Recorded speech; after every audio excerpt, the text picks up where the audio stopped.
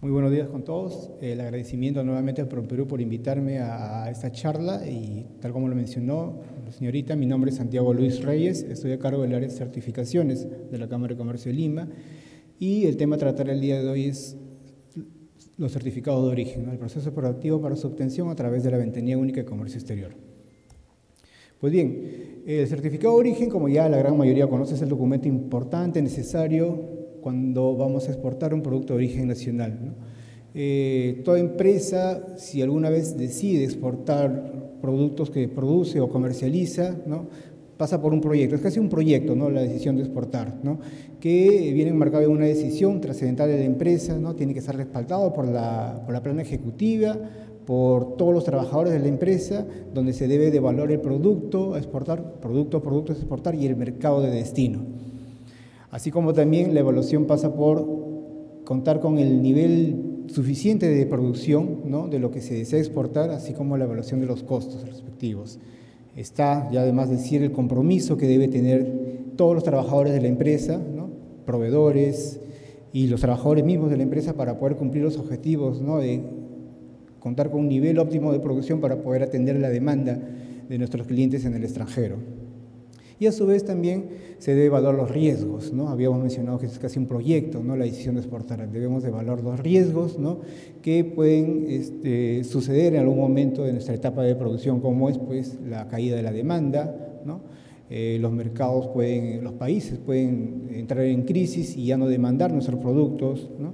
y así como también el producto que estamos exportando ¿no? puede en algún momento caer en obsolescencia, ser reemplazado por, por otros. Entonces nuestra capacidad tiene que que evaluar esta, eh, todos esos escenarios ¿no? y si es en el caso pues, de un producto obsoleto, tener pues la suficiente destreza para reinventarse y poder elaborar un producto nuevo que reemplace a este que ya quedó caduco. ¿Cuál es la situación actual de nuestras exportaciones? Pues bien, actualmente estamos en un descenso de las exportaciones, ¿no? razón pues, de la crisis internacional, ¿no? Europa, Asia, parte de Estados Unidos. ¿no? Eh, en el año 2014 hemos exportado alrededor de 38 mil millones de dólares ¿no? en productos, ya sea tradicionales y no tradicionales. Eh, el año pasado, 2015, ¿no? hubo un descenso de 5 mil millones, exportamos alrededor de 33 mil 245 millones de dólares. Para este año para el cierre de 2016 se espera eh, tener un nivel de exportaciones de 30 mil millones, es decir, que la baja aún, las exportaciones aún continúa. Eh, no salimos todavía de la crisis, obviamente nuestro, nuestros principales eh, socios comerciales a nivel internacional, ya sea China, la Unión Europea, aún están este, en un proceso de crisis, ¿no? hay poca demanda de las materias primas en razón pues, de, la, de la caída de, las, de, la, de, los precios de, los, de, los, metales y eso pues eh, es el resultado de esa disminución de las exportaciones eh, año a año.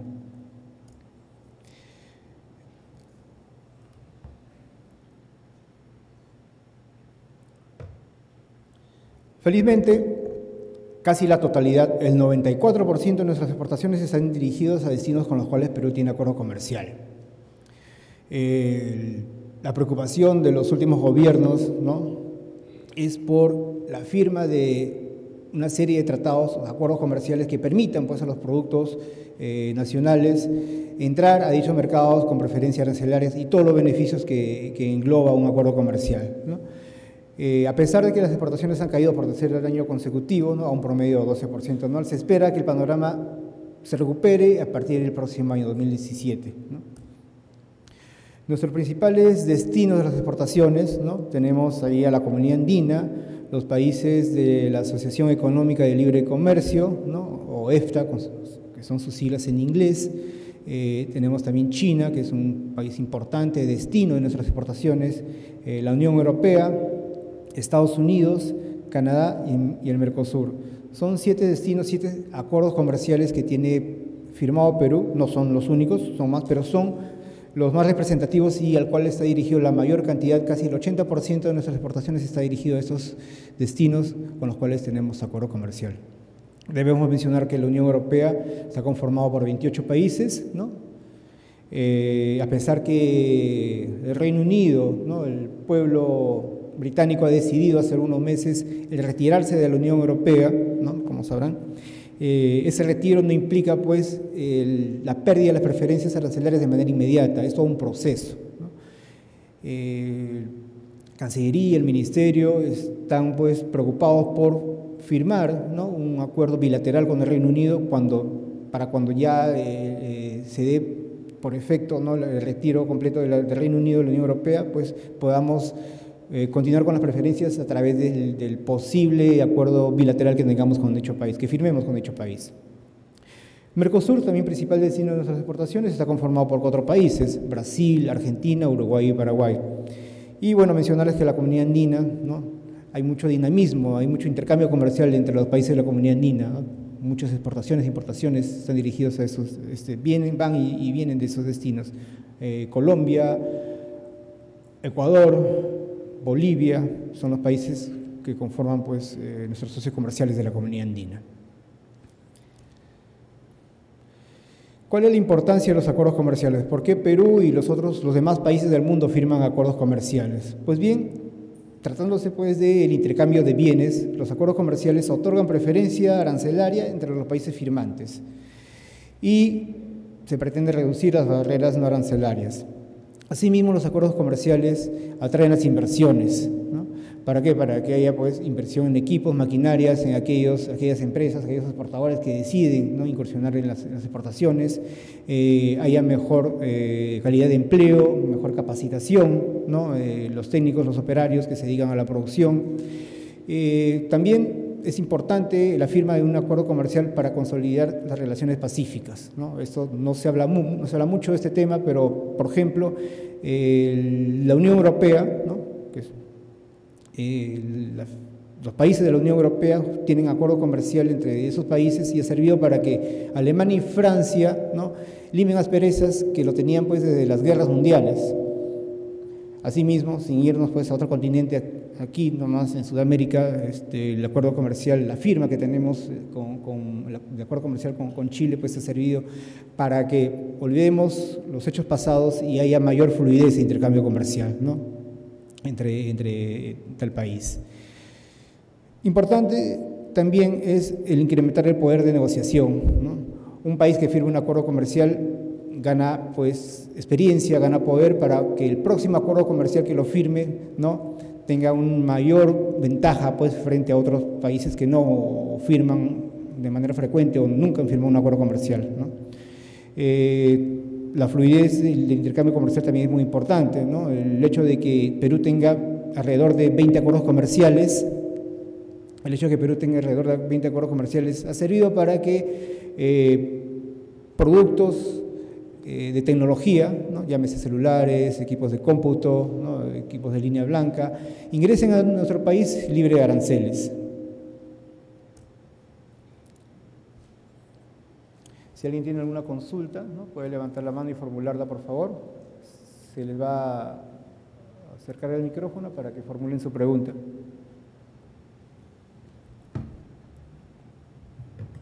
¿Qué es el certificado de origen? Eh, bien, habíamos mencionado que es un documento necesario, importante para el proceso de exportación, es un documento comercial que acredita el cumplimiento del origen nacional de las mercancías exportadas.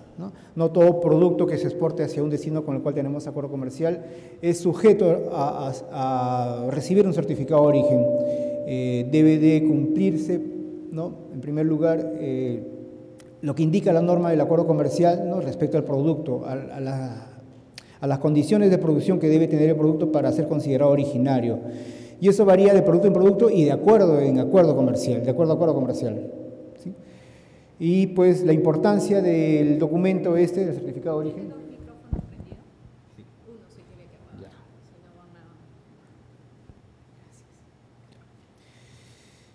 Y la importancia ¿no? del documento este del certificado de origen es para poder otorgar preferencia arancelaria. ¿Qué significa esto? Significa pagar menos impuestos al momento de recibir la mercadería.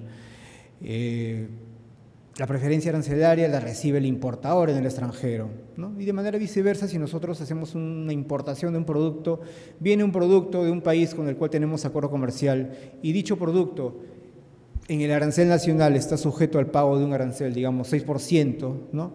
Nosotros revisamos, ustedes revisan ¿no? el acuerdo comercial y si dicho producto está negociado ¿no?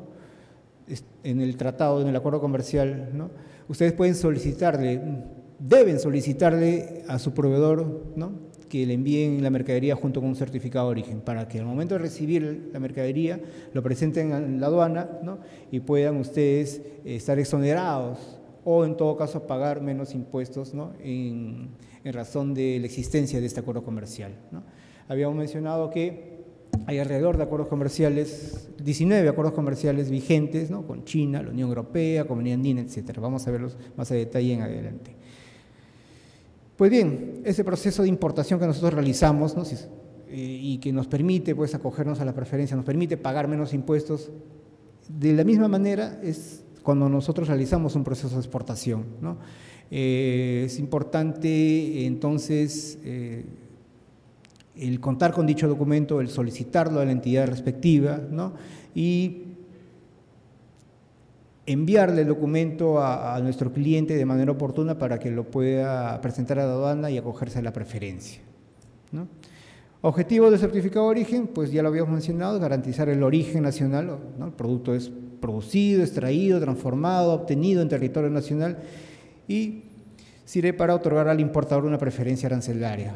Esa frase, preferencia arancelaria, ¿no? es equivalente, es sinónimo a decir pagar menos impuestos en la aduana o estar exonerado de ese impuesto o pagarlo de manera reducida. ¿no? A diferencia de que si hago el despacho eh, de la mercadería sin certificado de origen, ¿no? con lo cual nuestro comprador en extranjero tendría que pagar la totalidad de los impuestos. Es muy importante entonces evaluar ¿no? el producto o producto que nos estamos exportando, que le estamos vendiendo a nuestro, a nuestro comprador, porque puede darse el caso que si efectivamente ese producto esté negociado en el acuerdo comercial. Si nosotros vamos a exportar, digamos, a Japón un producto X y hacemos la evaluación respectiva, hacemos la consulta respectiva y ese producto está negociado en el acuerdo comercial con Japón. Eh, ingresa a Japón con preferencia arancelaria y nuestro cliente no lo ha pedido, no ha pedido el certificado de origen. Eh, sería conveniente ofrecerle dicho documento. Hay dos alternativas. Una, que al llegar a destino en su arancel no pague nada, o en todo caso sí lo pague, pero por desconocimiento el comprador esté pagando, ¿no?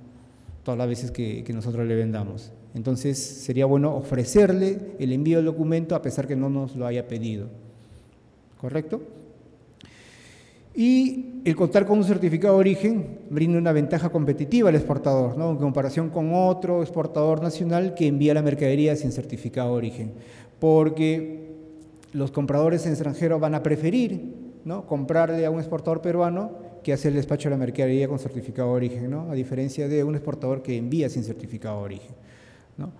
Si uno exporta por primera vez y hace el envío sin certificado de origen y luego el, importador se da cuenta que con ese documento se hubiera ahorrado pues, cientos de dólares o miles de dólares en su importación, es bastante seguro que ya no haga un segundo pedido. Además, el, certificado de origen ¿no? permite la trazabilidad del origen del producto a través de la documentación presentada. ¿no? El documento, el certificado de origen. Eh, para poder emitir eh, dicho documento al exportador requiere la presentación de una serie de requisitos, que va a permitir pues, a la entidad, al evaluador, determinar si realmente cumple con las reglas de origen que, que estipula el acuerdo comercial y finalmente pues, se otorga el documento a través del, del sistema de la ventanilla única. Actualmente, en Perú a nivel nacional, ¿quién emite los certificados de origen? ¿Y cuándo el exportador debería solicitarlo? Pues bien, el MINCETUR ha autorizado a 19 entidades a nivel nacional para que se encarguen pues, de la emisión de dicho documento. Eh, mencionemos, ¿no? tenemos la Cámara de Comercio de Lima, la Cámara de Comercio de Producción de Cajamarca, la Cámara de Comercio e Industria de Arequipa, la Cámara de Aguas Verdes, Cámara de Piura, la Cámara de, La Libertad, la Cámara de Chiclayo, la Cámara de Loreto. Son en total 19 entidades que a través de un convenio de delegación. Eh, con el Ministerio tiene la autorización pues, para emitir los certificados de origen por un plazo determinado. Son cinco años el plazo que, el Ministerio otorga eh, para poder emitir los certificados de origen. cuando esté próximo a vencerse ese plazo, la entidad puede solicitar la renovación o ampliar por un periodo adicional. Eh, la mayoría de entidades que actualmente emitimos certificado de origen, ¿no? Hemos firmado un convenio con el Ministerio en el año 2013. Por lo tanto, de aquí a dos años, en el 2018, estaría pues venciendo nuestra autorización y si deseamos continuar con, dicho servicio, tendremos que solicitar nuevamente al Ministerio que nos otorgue la delegación previo a evaluación y aprobación del Ministerio también. No son las únicas entidades que siempre han emitido certificado de origen. Eh, a lo largo de estos años se han ido eh, incorporando nuevas, nuevas cámaras, ¿no? las dos últimas son la, Cámara de Huancayo, la Cámara de, Cajamarca, que han recibido la autorización del Ministerio. Una Cámara, una entidad puede decidir continuar con el convenio, puede solicitar la renovación de, la autorización o en su defecto ya no continuar con dicha emisión. Eh, a modo de ejemplo, les menciono que actualmente la Cámara del Cusco tuvo la delegación hasta el año 2013, pero por decisión propia ya no decidió continuar con, dicha autorización. Pero a la fecha, como les menciono, son 19 las entidades. ¿Y en qué momento el exportador acude a dichas entidades para solicitar el certificado de origen? Pues bien, la mayoría de los acuerdos comerciales ¿no? Mencionan que este documento debe obtenerse antes del despacho, es decir, enviar la mercadería ¿no? conjuntamente con todos los documentos comerciales, factura, lista de empaque, ¿no? certificado de origen, entre otros documentos. Por lo tanto, el exportador, previo ya al despacho, debe de solicitar dicho certificado presentando los requisitos que, indica, que indica el texto de procedimientos administrativos del Ministerio. ¿Quién lo solicita? Es el exportador, ¿no? la persona natural o jurídica, ¿no? Quien realiza dicha solicitud a través del portal de la BUCE, la Ventanilla Única de Comercio Exterior. Todos sabemos que el portal ha sido, este portal, el portal de la Ventanilla Única de Comercio Exterior, ha sido creado por el Ministerio para centralizar en, dicho portal todos los trámites necesarios que un exportador o importador necesita para obtener pues, sus certificaciones, permisos, autorizaciones ante las entidades eh, respectivas, ya sea SENASA, DIGESA. Sanipés, las cámaras de comercio, ¿no? etc. Actualmente son alrededor de 200, más de 200, casi 300 eh, procedimientos incorporados en el sistema BUSE, donde pues, eh, el exportador ingresa a dicho portal con la clave SOL y selecciona la entidad respectiva. Tratándose de los certificados de origen, el exportador ingresará a dicho portal con su clave SOL y en primera instancia se va a desplegar todas las 19 entidades autorizadas para emitir dicho certificado de origen. Un exportador que se encuentre ubicado en la ciudad de Lima y la producción de la mercancía que va a exportar se produce en Lima, va a seleccionar cualquiera de las tres entidades que estamos, que estamos ubicados en la región Lima. Eh, un exportador que esté ubicado en la región Arequipa, por ejemplo, ¿no? y va a exportar cebollas, ¿no? y esas cebollas han sido producidas en la región Arequipa, va a tener que seleccionar la Cámara de Comercio de Arequipa para, ante ella, solicitarle el certificado de origen. Pues bien, el exportador no necesariamente es quien produce la mercadería. Muchas veces eh, el proceso de exportación se da a través de una cadena. Tenemos, pues, por un lado, productores de materia prima, tenemos eh, empresas manufactureras y tenemos en otro extremo empresas comercializadoras exportadoras. Entonces, no necesariamente la empresa que va a exportar es la que produce la mercadería, sino se provee, ya sea de materia prima, o se provee de aquellos productores, ¿no? manufactureros, fabricantes, etcétera, de dicha mercadería para poder eh, el exportador enviarlo al extranjero. ¿Qué requisitos son necesarios para obtener el certificado de origen? Los requisitos están señalados en el texto único de procedimientos administrativos del Ministerio, del MISETUR. En primer lugar, señala que se debe contar con una declaración jurada ya registrada en el sistema de la ventanilla única para poder luego solicitar el certificado de origen. ¿Y qué es la declaración jurada? para efectos del certificado de origen. La declaración jurada es, el, es la información del producto a exportar. ¿Qué información? Es la información de materiales utilizados en la producción, proveedor de los materiales, costo de los materiales, eh, un flujograma o proceso productivo, que es la secuencia, ¿no? paso a paso de cómo se ha fabricado el producto, cómo se ha obtenido el producto a ser exportado. Y se debe registrar una declaración jurada por cada tipo de producto exportar hacia un destino X.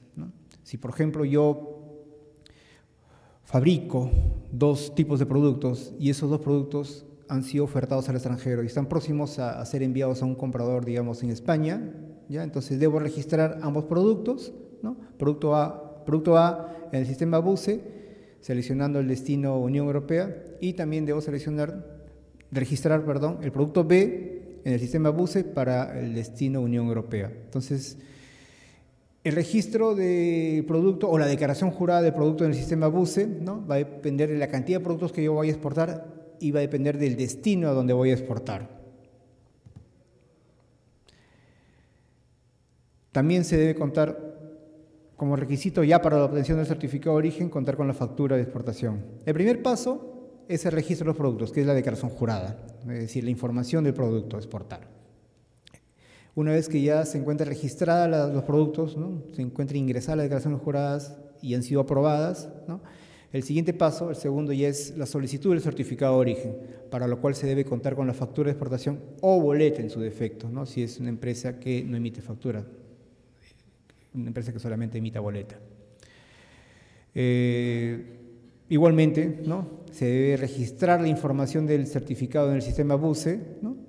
Ya es información del propio despacho, ¿no? como la cantidad de mercadería que se va a exportar, eh, quién es el importador, se debe adjuntar también la factura escaneada previamente en formato PDF, se adjunta en, la solicitud del sistema BUSE, y finalmente eh, realizar el pago de derecho de trámite, ¿no? este monto es de 42 soles con 48 céntimos, es una tasa que lo ha fijado el Ministerio ya desde hace algunos años, ¿no?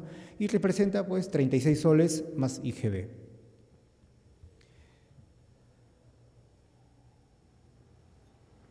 Debemos mencionar que un certificado de origen no es un DNI, una especie de DNI una especie de partida de nacimiento, sino es un documento que acompaña la exportación.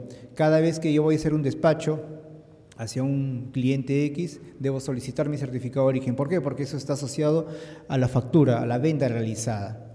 El número de factura va indicado en el certificado de origen. Entonces, cada vez que yo voy a despachar una mercadería, debo recurrir a la entidad a solicitar mi certificado de origen y realizar el pago respectivo ¿no? de la tasa de 42 soles con 48 céntimos. Bueno, habíamos mencionado lo que es la declaración jurada, es el requisito principal ¿no? para obtener el certificado de origen, la información de producción u obtención de la mercancía que se va a exportar y se registra, se debe registrar en el sistema de la ventanilla única. Muchas veces el registro no garantiza que se vaya a emitir el certificado de origen porque pasa por un proceso de evaluación y solamente si es que cumple con las reglas de origen del acuerdo comercial, ¿no? se aprueba dicho registro, dicha solicitud. ¿no? Caso contrario, se denegará la solicitud y el exportador no podrá obtener el certificado. Y eso va a depender justamente del cumplimiento de las normas de origen. La norma de origen viene a ser conjunto de reglas para cada producto o para cada grupo de partidas arancelarias que debe cumplir el producto para ser considerado originario. Por ejemplo, si yo voy a exportar, digamos, espárragos frescos, espárragos fresco a Europa, ¿no? la mayoría de los acuerdos comerciales indican que el espárrago fresco cumple origen si es que ha sido cultivado y cosechado en territorio nacional. Solamente así puedo yo obtener mi certificado de origen. Si yo traigo espárrago fresco, digamos, de Chile, inmediatamente lo embalo, lo pongo en su caja y lo quiero exportar a Europa, ¿no? no podría yo obtener un certificado de origen porque los espárragos no son de producción nacional, no han sido cultivados ni cosechados en territorio nacional. Y así, cada tipo de producto exportar ¿no? tiene sus propias reglas, las reglas que, que exige el acuerdo comercial ¿no? para ser considerado originario. Si yo voy a exportar, por ejemplo, una silla de plástico, ¿no? Eh, la mayoría de los acuerdos comerciales ¿no? me indican que para ser considerado originario dicha silla de plástico debe haber sido producido en territorio nacional y el producto resultante tiene que ser de una partida arancelaria diferente a la materia prima. Y efectivamente, la materia prima son los peles de plástico, los gránulos de plástico, ¿no? que pasan por un proceso de inyección o extrusión para obtener una silla. Esa silla resultante es totalmente diferente a la materia prima. Entonces, esa transformación que, ha sufrido la silla, de los gránulos a, un objeto exportar, y a su vez realizado un proceso de transformación realizado en Perú, le confiere origen a ese producto, a esa silla. Por lo tanto, sí se puede emitir el certificado de origen para dicho producto. Entonces, así sucesivamente, para cada tipo de producto, las reglas de los acuerdos comerciales ¿no? exigen cierto nivel de producción, transformación u obtención de las mercancías para ser considerados originarios. Por lo tanto, si ustedes van a exportar algún producto y no están seguros si realmente el producto califica como origen para obtener un certificado, los invito pues a consultarnos, ¿no? a consultar a la Cámara de Comercio de Lima, ¿no? para hacer un diagnóstico previo, ¿de acuerdo? Un diagnóstico previo y poder pues a través de una serie de, consultas o preguntas determinar si ese producto realmente califica como originario o no. Para que luego ustedes, ¿no? recaben toda la información necesaria e ingresen la declaración jurada en el sistema BUS y sea aprobada inmediatamente. Sí, ¿tiene una consulta la señora?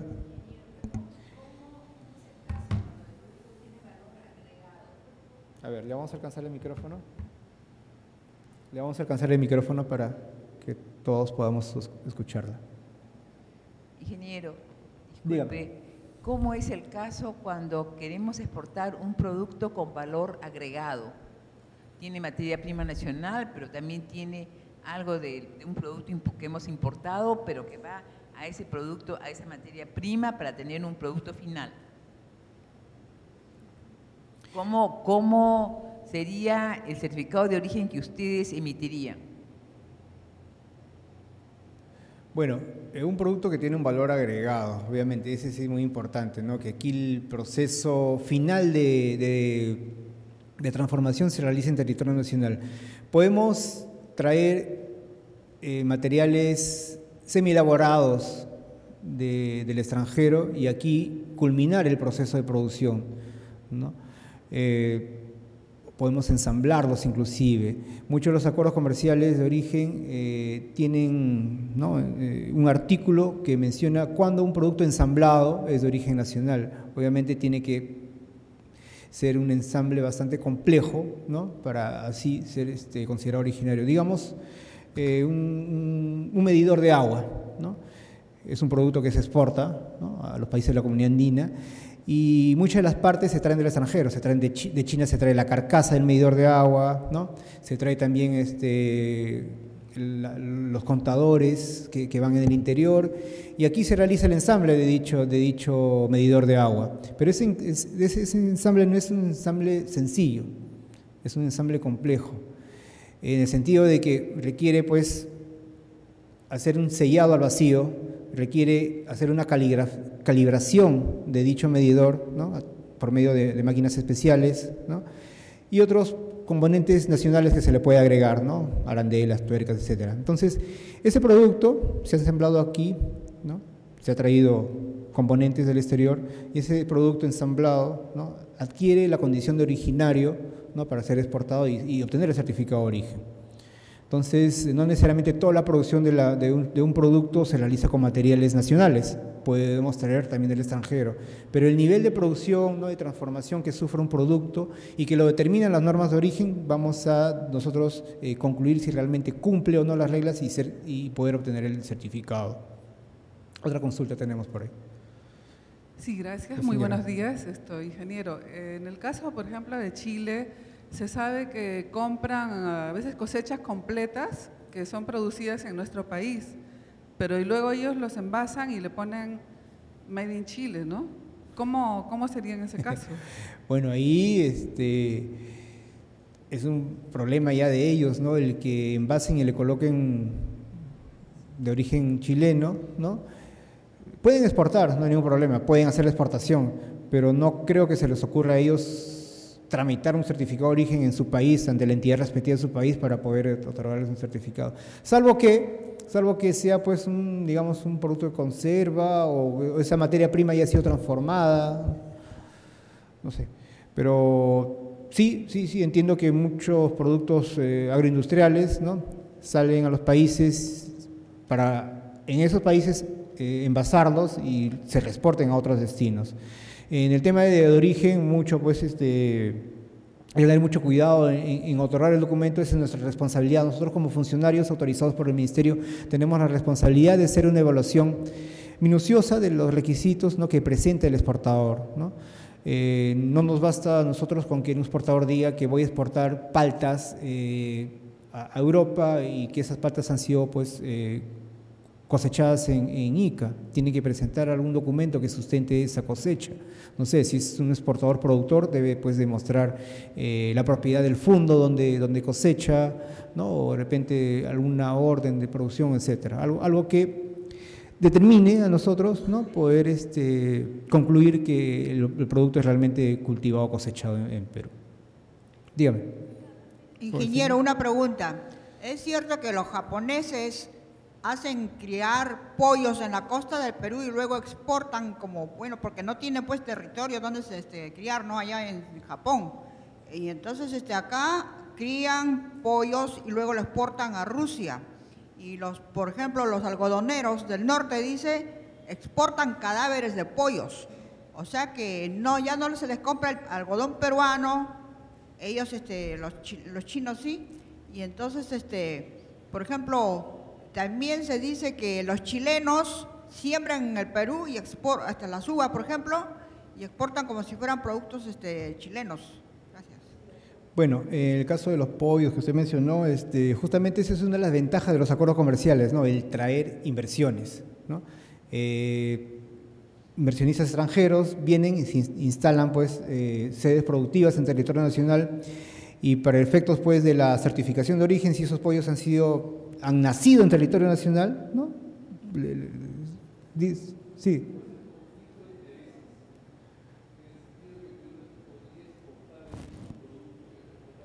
Por favor, con el micrófono para que todos nos escuchen. Un momentito. La, la pregunta.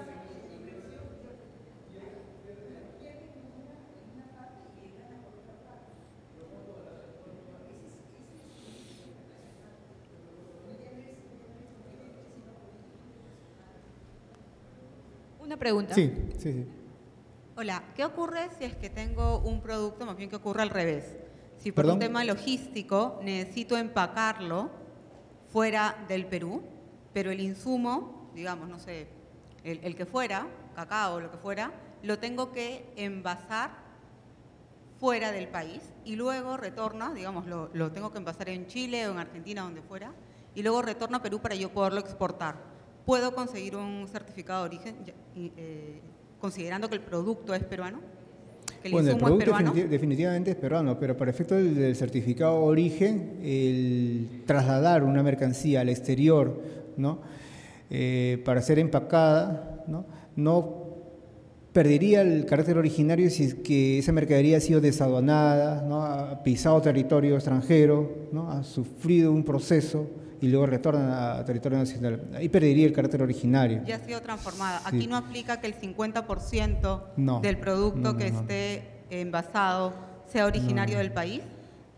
No, no, no. Eh, como le mencioné, eh, todo va a depender del tipo de producto, ¿no? dentro de las reglas de origen. Por ejemplo, los productos agroindustriales ¿no? deben ser pues, cultivados y cosechados en territorio nacional. Ya para el tema del 50%, y ese es cuando incluye algún insumo importado. Ese ya es otro grupo de productos. O sea, los productos que, se exportan ¿no? son de dos tipos. Uno que no contenga ningún insumo importado y otros productos que sí tienen al menos un insumo importado en su producción. Uno que no insumo importado, por ejemplo, es el espárrago fresco, ¿no? el pescado congelado. ¿no? Eh, y un producto que sí, por lo menos tiene un, insumo importado, digamos, las conservas, ¿no? que dentro pues, del líquido de gobierno está un preservante, etc. Entonces, eh, el análisis del 50% es cuando es un producto que sí tiene un insumo importado. Así de simple. Pero el caso que usted me menciona, que un producto cultivado se envía al extranjero solamente para ser envasado y luego retorna al territorio nacional, ahí yo entiendo que se ha desaduanado en, el, otro país para envasarse y luego retornado. Entonces, esa figura no, no aplicaría para el certificado de origen. Porque no, porque dentro de los acuerdos comerciales menciona el tema del, del transporte directo. Si una mercancía, ¿no? una mercancía que se va a exportar hacia un destino, ¿no? Tiene que ir directamente hacia ese destino. Si pasa por algún país intermedio, tiene que ser pues por razones logísticas, ¿no? razones territoriales, etcétera. Sí. ¿Qué tal? Eh, buenos días. Sí, buenos días. Una consulta. Eh, bueno, siguiendo el mismo hilo de la señorita que acaba de hacer la consulta, ¿qué pasaría si nosotros en este caso aplicaríamos lo que es una importación para su perfeccionamiento activo o pasivo, ya sea importación o exportación de un producto? En este caso, el certificado de origen aplicaría también para el país donde se está coproduciendo o produciendo un producto o envasando en todo caso. ¿A quién le pertenece? ¿Al que produce o cómo es la repartición de la repartición de porcentajes para obtener el certificado de origen? Bueno, si es que aquí se le hace una última operación de procesamiento, ¿no? y si esa última operación en la regla de origen menciona que cumple, eh, no habría problema en emitir el certificado de origen. Puedes traer un producto intermedio, ¿no? Y aquí se le haga pues la última operación de procesamiento. Entonces le correspondería al país donde se está dando la última parte de la operación el, expedir lo que es el certificado de origen? Sí, así es. Siempre y cuando cumpla con la regla. Indiferente de lo que viene a ser la coproducción, ¿no? Entre comillas. Claro, puedes traer un, un producto X con una partida arancelaria y aquí se le hace la última operación, se le hace la última operación y, y cambia de partida arancelaria. Entonces ese salto de partida más la última operación ya le, le confiere origen. Se reimporta sin eh, pago de tributos hasta el, hasta el punto final, ¿no? ¿Cómo? Eh, al ser una, como le dije, ¿no? Una importación o exportación para su perfeccionamiento activo, ya una vez que se realiza lo que es el valor agregado a la última etapa, se valor agregado y que en principio hay un cambio de partida. Claro, ¿no? Sí, ya se reimporta con todos los eh, pagos y tributos que se tienen que ser allá mismo, ¿no? Exacto. Bien. Habíamos mencionado, sí, habíamos mencionado a través de sus consultas, ¿no? el cumplimiento de las reglas de origen, ¿no? justamente son las, lo, que menciona la, diapositiva, son las condiciones que debe cumplir la mercancía a exportar para ser considerado originario. ¿no? Eh, en los acuerdos comerciales existen requisitos específicos que prevalecen sobre las reglas generales de origen. Por ejemplo, para el caso de Mercosur, para el caso de Mercosur, si de Perú se va a exportar hacia Argentina, por ejemplo, una prenda de vestir, ¿no? esas prendas de vestir están en el capítulo 61, 62, dependiendo si es una prenda hecho con tejido plano o tejido de punto. La regla de origen del acuerdo entre Perú y Mercosur exige que, para ser considerado originario, dicha prenda debe haber sido producido a partir de hilados elaborados en, en los países firmantes del acuerdo. ¿Qué significa esto? que primero debe haberse elaborado el hilado en Perú, ese hilado convertirse en tela, luego esa tela realizar la confección. Solo así cumple origen y por lo tanto se emite el certificado de origen. ¿Qué pasa si yo confecciono la prenda a partir de una tela que he traído de la China? No estaría cumpliendo pues la regla que me dice el acuerdo comercial con el Mercosur. Puedo hacer mi exportación, sí, pero lamentablemente no voy a poder el certificado de origen porque no estoy cumpliendo lo que me indica la, regla. Ese es parte de los acuerdos comerciales, ¿no? un resumen, un extracto de lo que tenemos en los acuerdos comerciales y pues abarca todos los productos que Perú exporta, Perú produce. Había mencionado ¿no? los, aquellos productos que no contienen ningún insumo importado, ¿no? Tenemos pues productos hidrobiológicos, productos agropecuarios, productos mineros y aquellos productos que que sí tienen al menos un insumo importado, ¿no? para ser considerados originarios deben transformarse de manera suficiente. ¿no? Y los requisitos o las reglas de origen están enmarcados en tres aspectos, ¿no? en el cambio de, cambio de clasificación arancelaria, en el valor de contenido regional, ¿no? lo que mencionaron hace un momento del 50%, etcétera, o que cumpla algún requisito técnico productivo.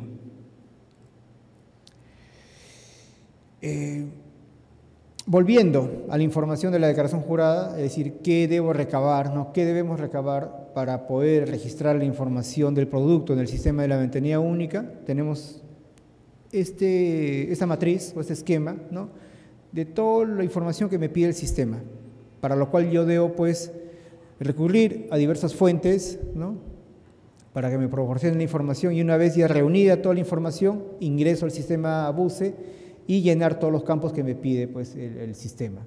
Estamos ahorita en la etapa del registro del producto, en la etapa de la declaración jurada, que es la primera parte. Pues bien, en las empresas, ¿no? quien solicita el certificado de origen, por lo general es el del área de exportaciones, ¿no? que cuando se le habla de información de la declaración jurada y todo lo que tiene que, que recabar, lamentablemente no lo ah. tiene en la mano. Para ello, pues tiene que recurrir a diversas fuentes, dentro de su empresa y fuera de la empresa inclusive. Tiene que recurrir en la empresa ¿no? al área de logística, al área de compras, al área de producción, ¿de acuerdo? Para que le brinden la información ¿no? de, por ejemplo, qué material, qué cantidad de material se ha utilizado en fabricar un producto, quién quiénes han sido los proveedores de, dicha, de dicho material o de qué país ha venido dicho material. ¿no? Si se trata de conseguir la partida arancelaria o clasificación arancelaria, ¿no? pueden ustedes recurrir a la gente de aduanas, ¿no? o incluso pueden recurrir a la entidad, pueden recurrir a, nosotros, Cámara de Comercio de Lima, para que les podamos ayudar en conseguir las partidas arancelarias sea del producto o de los insumos que forman parte del producto. Entonces, toda esta lista de, de, de información ¿no? que se requiere para la declaración jurada, sumado a una descripción del proceso productivo, que lo hice en el punto 3, el, flujograma, que viene a ser la secuencia paso a paso de cómo se fabricó el producto, es la información que me pide el sistema. Dígame, señor.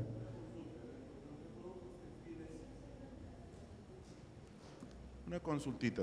En lo que es productos textiles, por los polos, en lo que dice denominación del material, ¿a qué se refiere específicamente? Denominación del material. Ya. Se refiere a, se refiere a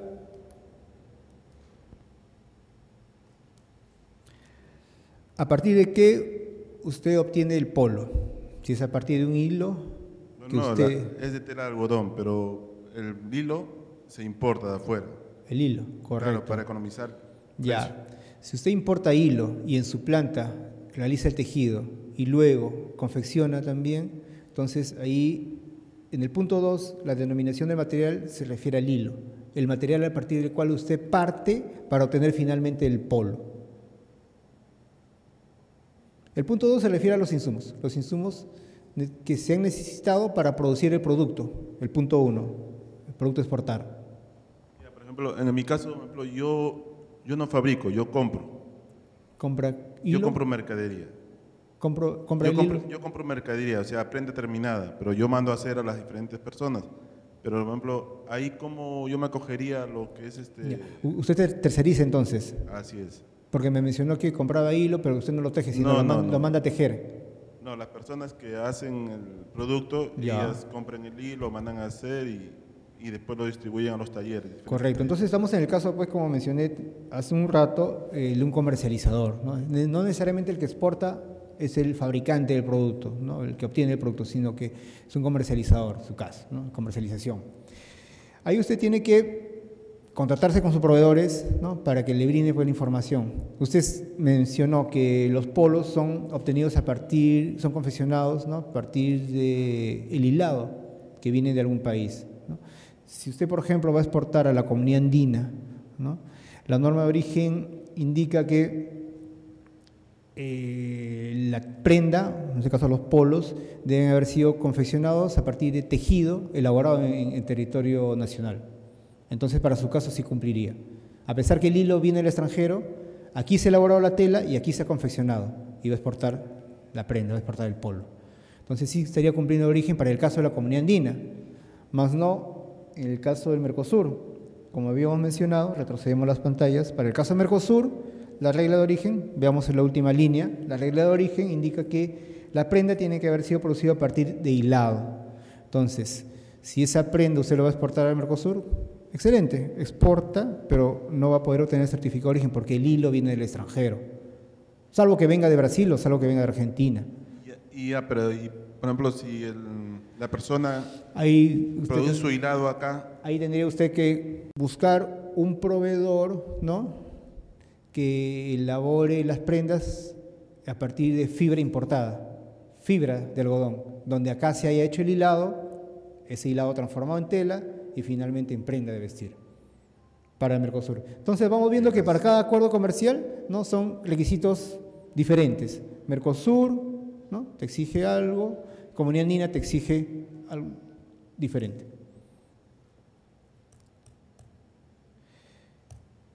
Una vez que hemos recabado toda la información, recopilado toda la información que nos, que nos pide el sistema para el registro del producto, ¿no? hemos tenido la ayuda de, diversas fuentes en nuestra, nuestra, empresa o fuera de la empresa, ¿no? procedemos pues con el ingreso de la información al sistema. Con nuestra clave SOL, seleccionamos Cámara de Comercio Lima, la entidad, y registramos el producto, ¿no? seleccionando el destino, el acuerdo comercial de destino. Si vamos a exportar a España, digamos, los polos, tenemos que seleccionar la Unión Europea el acuerdo comercial de la Unión Europea. Pues bien, habíamos mencionado ¿no? dónde o quién nos proporciona la información. nuestra área logística, compras, el área de producción, el proveedor, el área comercial, el área de ventas, el agente de aduanas también nos puede ayudar en recopilar toda esta información, como el caso de, los, de las partidas arancelarias, o Cámara de Comercio en Lima también les podemos facilitar a ustedes este, algunas partidas arancelarias de, de ciertos insumos que utilicen en su producción. Este es un ejemplo sencillo ¿no? del diagrama de flujo, proceso productivo. ¿no? Como les mencioné, es la secuencia paso a paso de cómo se ha obtenido una mercancía. ¿no? Esta es una mercancía, este es un producto ¿no? de agroindustrial, es orgánica, que partimos de la siembra, sigue el riego, control periódico del crecimiento de la planta, finalmente viene la cosecha, selección por tamaño, etcétera, por calidad, finalmente el embalaje y la exportación. Ese es un ejemplo, como le mencioné, ¿no? un ejemplo sencillo del proceso productivo que ustedes deben elaborar o el área de planta, el área de producción les debe facilitar a ustedes para que, eh, convertido en un archivo en PDF, lo anexen al sistema.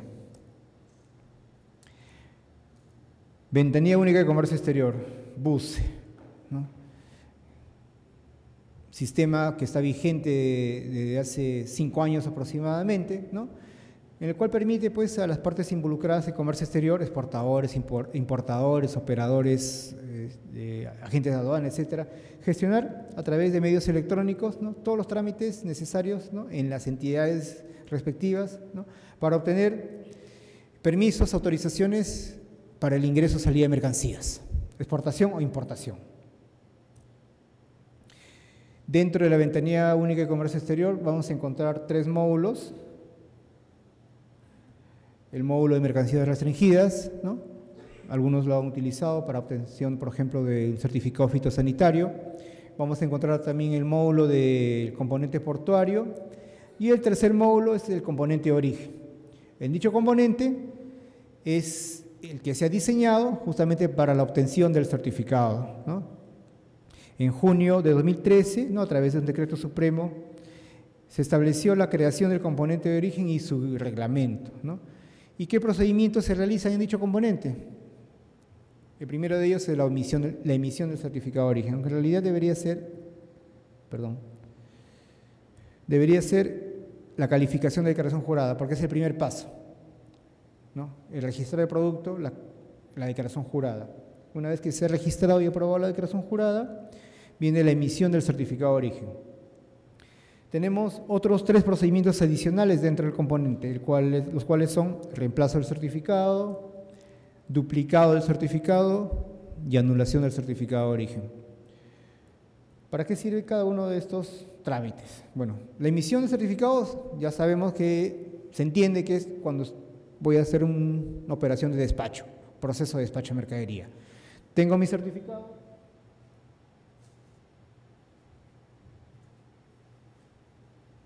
Tengo mi certificado, ¿no? Y lo envío junto con la mercadería a mi comprador en el extranjero.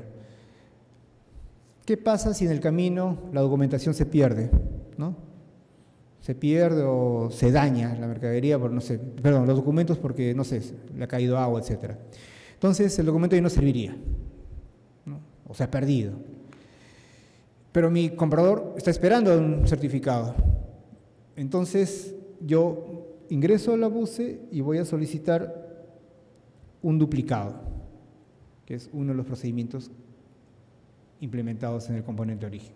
Solicito un duplicado, ¿no? donde se va a generar un nuevo certificado de origen y en alguna parte del nuevo certificado va a mencionar, en, la parte, en el campo de observaciones, va a mencionar que este documento nuevo es duplicado del número tal emitido en fecha tal. Así es. Otra situación que también puede ocurrir. Emitimos el certificado de origen, ¿no? Se envía la documentación, lo recibe el importador y lo presenta a la aduana. Y en la aduana de destino detectan un error, un error, ¿no? Un error de tipeo, digamos, ¿no? El certificado dice 100 cajas de mangos, pero en la factura dice 1000 cajas. Obviamente en la aduana no van a eh, tomar como válido, van a observar el certificado de origen. Entonces, ante esa observación, inmediatamente el importador comunica al exportador para que genere un nuevo certificado. Y ese nuevo certificado es llamado reemplazo. Igualmente, el reemplazo es un nuevo certificado que se va a emitir donde en alguna parte va a mencionar que dicho nuevo certificado es un reemplazo del número tal emitido en fecha tal debido a, se puede explicar el motivo, ¿no? debido a errores error en las cajas, error en la partida, error en la descripción, etc. Y finalmente tenemos lo que es la anulación del certificado de origen, otro procedimiento implementado en el componente de origen. ¿Cuándo voy a solicitar la anulación? Cuando yo ya tengo mi certificado, ¿no? estoy a punto de enviarle mercadería y de pronto pues eh, recibo una comunicación, una llamada de mi cliente, de mi comprador, donde me cancela el pedido, ¿no? donde me dice ya no envíes en esta ocasión, esperemos hasta una próxima oportunidad. Entonces yo tengo mi documento, ¿qué hago con ello? Ingreso al sistema BUSE y solicito la anulación a través del procedimiento respectivo, el procedimiento de anulación. ¿Por qué se hace esto? Porque si no hago la anulación, va a quedar grabado en el sistema como que esa exportación sí se realizó efectivamente, ¿no? Y a fin de año los analistas, los funcionarios del ministerio, cuando saquen pues las estadísticas van a encontrar pues esa exportación como realizada y va pues a, haber divergencia en lo, real, ¿no? lo que está en el sistema versus lo real. Esta es la pantalla, la página principal de la ventanilla única, ¿no? ahí podemos apreciar, si es que se ve, los tres módulos incorporados en el sistema BUSE, el módulo de mercancías restringidas, el módulo de servicios portuarios y el finalmente el componente origen, que es el módulo exclusivo para el trámite, para la obtención del certificado de origen. En el portal de la BUCE ustedes van a encontrar también manuales, manuales eh, específicos para el componente origen, manual de declaración jurada, manual para registrar un producto, manual para obtener el certificado de origen, manual de creación de usuario secundario también. ¿De qué se trata eso?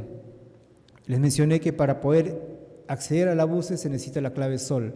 Pues bien, en toda empresa la clave SOL es una clave única que proporciona la SUNAT y lo maneja el contador, el administrador, el, gerente general, etc. Que para efectos del trámite de certificado de origen, ¿no? es necesario que el encargado de exportaciones también cuente con una clave SOL, pero no necesariamente va a usar la, clave SOL principal.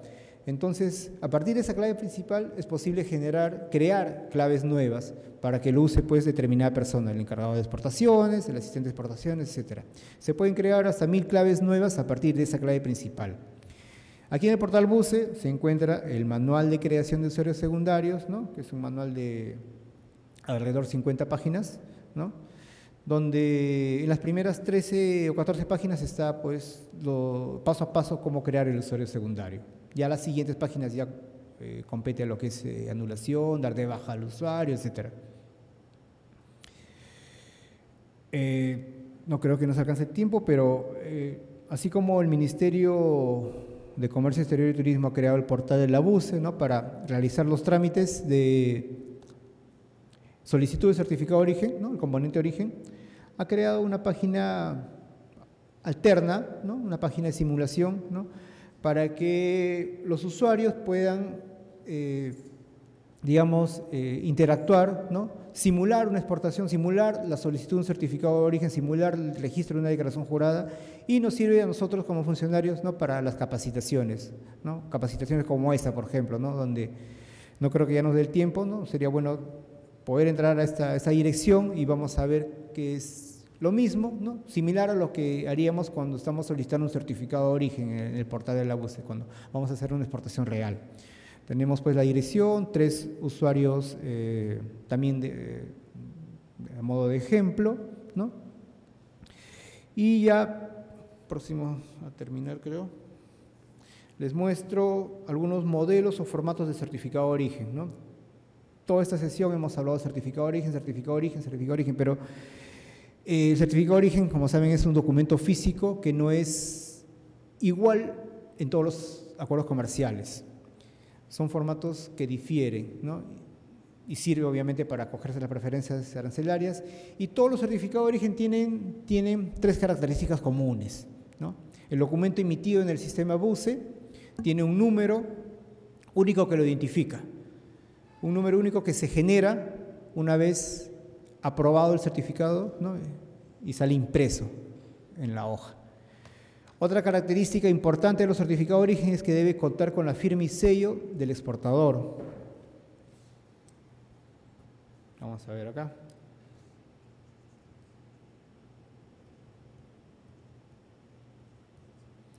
¿No?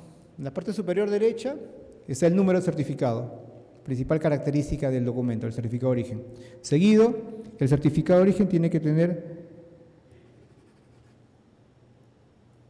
la firma y sello del exportador, segunda característica del certificado de origen. Y finalmente, el certificado de origen debe tener la firma y sello de la, entidad que lo está emitiendo, en este caso Cámara de Comercio Lima, por ejemplo. Esos tres son los elementos importantes del certificado, que le, falte uno, que le falte uno de ellos es un documento inválido que no va a servir ahí en la aduana, no le va a, servir, no, le va a ser útil al, importador.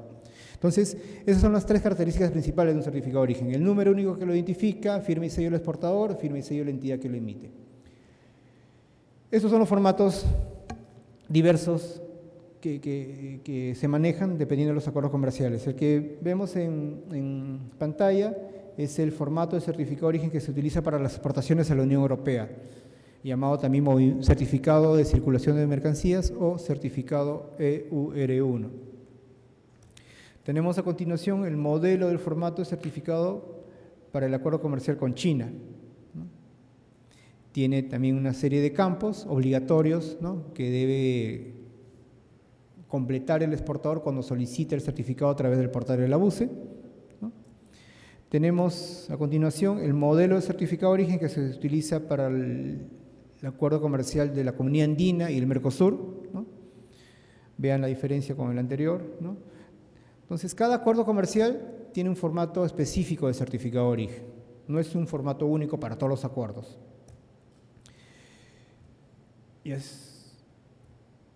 Y, finalmente, ¿no? mencionarles de manera breve eh, qué consiste el control posterior y la verificación de origen también.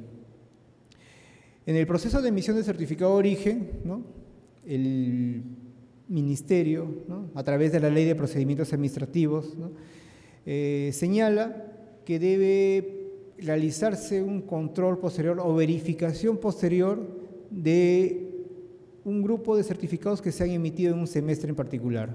Es decir, el Ministerio selecciona al azar. 50 certificados que se han emitido en el semestre anterior, por ejemplo, ¿no? y le indica a la entidad emisora, le indica a la Cámara de Comercio de Lima que realice, pues, o se ponga en contacto con, su, con el exportador a quien le ha emitido el certificado de origen para que presenten mayor documentación o mayor sustento sobre el origen de la mercadería y sobre el despacho. ¿En qué consiste? Por ejemplo, si para obtener el certificado de origen yo he llenado mi declaración jurada ¿no? en el sistema BUSE, he indicado ¿no? que tal mercancía lo traigo, tal insumo, perdón, para producir una mercancía lo traigo de China y otro insumo me lo vende un proveedor X, en control posterior yo voy a presentar factura de compra, voy a presentar eh, duda de importación, eh, voy a presentar eh, el BL del despacho que se realizó. ¿no? Entonces, en resumen, el control posterior es una verificación ¿no? del despacho y del origen de la mercadería a través de la presentación adicional de documentos ¿no? o pruebas que el exportador debe tener a la mano. Porque tienen ustedes que saber que toda la documentación relacionada a la exportación debe ser pues archivada, debidamente archivada por un periodo de cinco años, ¿no? que es el plazo que, que los acuerdos comerciales indican que es posible realizar este, una verificación. El segundo punto, la verificación de origen, eh, ya compete a las aduanas, así como en el control posterior el Ministerio elige al azar ¿no? 50 certificados de origen. En el caso de la verificación de origen, la aduana de destino igualmente saca de sus archivos ¿no? algunos certificados y le comunica al Ministerio de Perú que haga la verificación de la autenticidad de dicho documento que llegó a esa zona, llegó a ese país.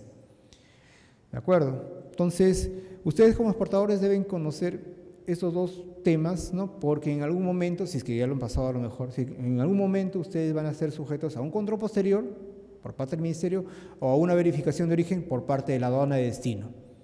Para ello, pues, es necesario, como ya les mencioné, contar con toda la documentación que sustente el origen de la mercadería, que sustente, pues, el despacho realizado, ¿no? Para poderlo presentar de manera oportuna, ¿no? Se le envía una comunicación, ¿no? Para que ustedes presenten un plazo, digamos, de 30 días, ¿no? Toda la documentación necesaria del despacho y del origen del, producto. En el caso de verificación de origen, como le mencioné, es un tema que compete a las aduanas eh, la aduana americana, dentro del acuerdo comercial Perú y Estados Unidos, cada cierto tiempo vienen inspectores de la aduana para apersonarse a las empresas exportadoras y ellos mismos hacen el proceso de fiscalización, proceso de auditoría. Eh, funcionarios de la aduana americana vienen con una lista, ¿no? van a la empresa, vienen con una lista, digamos, de dos despachos realizados ¿no? y les pide al exportador todos los sustentos del despacho, el origen. Si se trata pues de, prendas de vestir, tiene que tener el sustento de las órdenes de producción, eh, la procedencia de los insumos, ¿no? los hilados, las telas, etc. Eh, la aduana americana se centra en, productos textiles, por, lo menos hasta donde sabemos, en las últimas verificaciones han venido con ese objetivo, de acudir a las empresas eh, que exportan productos textiles. Pueden en su próxima visita pueden ampliar el rango ¿no? de, verificación, ¿no? pueden ir a empresas manufactureras, ¿no? empresas agroindustriales, pero por el momento la visita de la aduana americana, de los funcionarios de la aduana americana, ha, estado dirigida pues, a empresas textiles. Pues bien, muchas gracias a todos ustedes por su atención, agradeciendo a su presencia. ¿Alguno tiene alguna pregunta?